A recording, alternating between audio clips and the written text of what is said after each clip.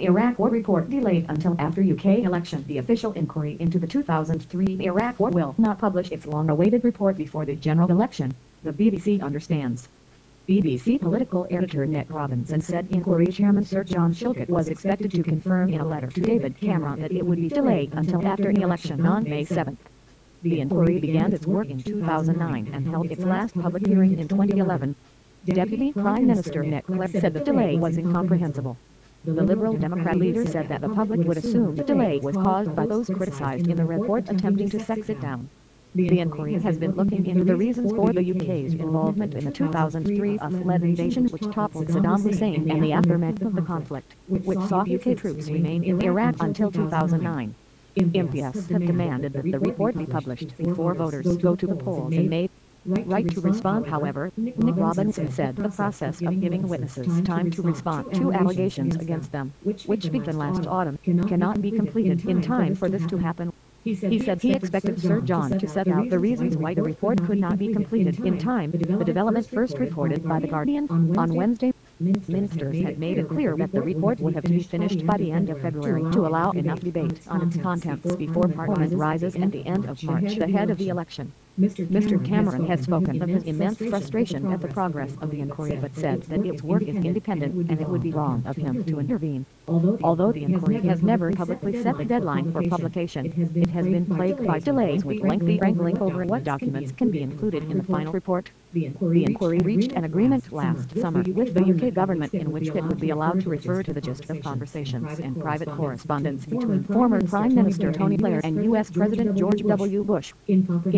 Mr. Blair, one of more than 100 witnesses to have appeared before the inquiry, has insisted he is not responsible for the delays and wants the report to be made public as soon as possible. But Mr. Clegg said that the country could not wait any longer if the findings were to be relevant to British foreign policy. The public have waited long enough and will find it incomprehensible that the report is not being published more rapidly than the open-ended timetable you have now set out, he said. We need to see a much clearer and more defined timetable, known publicly, with strict deadlines and a firm date for publication.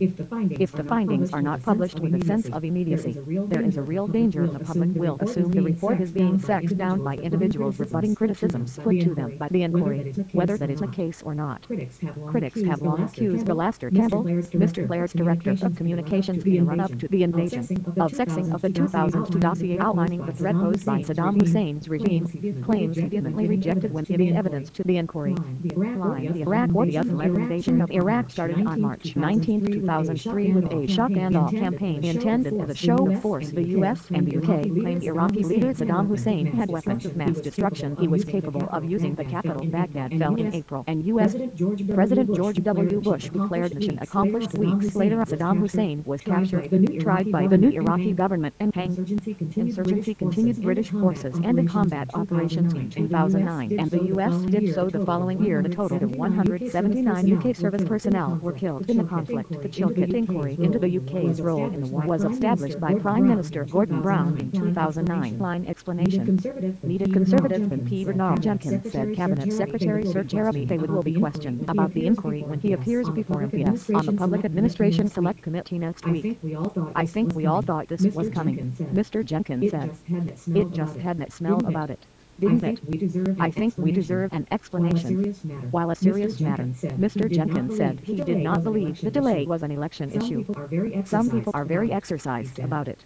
He said, it is the third inquiry on an Iraq-related matter.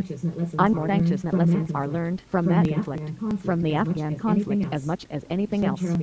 Sir Jeremy, who has the final say over the declassification of documents relating to the war, said last year that the final report would tell the whole story about the UK's involvement. A Labour spokesman said, Labour established the Chilcot inquiry because it is crucial we learn the lessons of Iraq. While the timing is a formal matter for Sir John Chilcot, we have always said the inquiry should report as soon as practically possible. Former Dem Home Office Minister Norman Baker said a backbench debate on the inquiry will still go ahead on Thursday next week. Sponsored The by motion. Baker, sponsored by Mr. Baker, David Davis, and Fabian Lucas, Hamilton, and call Caroline Lucas, to calls publish for the inquiry by to publish its 12th. findings by February Mr. 12th. Baker said, Mr. "It is Baker said, it is deeply concerning that John he has apparently decided he cannot publish his report before the election. people are entitled The British people are entitled to know what was done 7th. in their name before May debate in a week's time The must debate in a week's time must continue and in many ways becomes even more important.